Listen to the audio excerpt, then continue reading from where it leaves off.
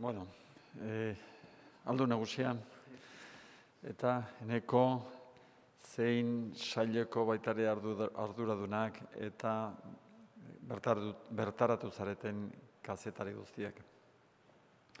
Lehenik eta behin eneko mila esker zure etxean jasotzegatik. Ez hautzen, ez hautzi jazuen, nik bi hitz aipatuko nituzke, batipat hemen ikusi ditu dudanak. Eta netzako proiektu baten atzean daudenak. Eta dira ilusioa eta pasioa.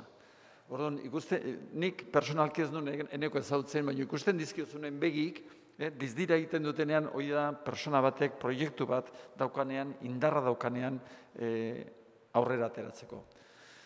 Guretzat, hezkuntza sail bezala, privilegio bada gure gazteak, gure lanbide heziketako gazteak honea ekartzeko aukera izatea. Hemen osatzeko, beraien eh, formazioa osatzeko, beraien izateko era osatzeko eta lehen mailan baitare lanean aritzeko. Hemen danak irabazten dugu.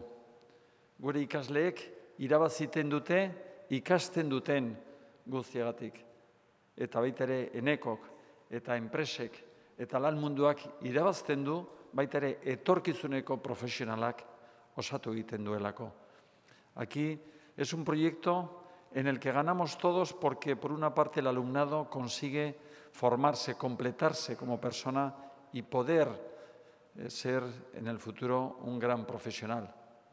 Y a su vez las propias empresas están conformando y formando los profesionales del futuro.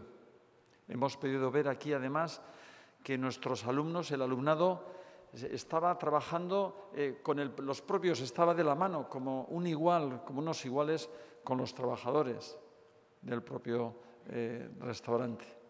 Y eso es verdaderamente un lujo, un lujo que es en lo, que es la formación eh, dual, que como todos sabéis eh, es algo que la formación profesional vasca ha liderado, pero ha liderado en el ámbito internacional, no aquí, sino en el ámbito internacional y que ve- verdaderamente nos está dando unos grandes frutos que principalmente se ha desarrollado en el mundo de la industria, pero que ahora estamos llevando hacia todo lo que es el sector servicios.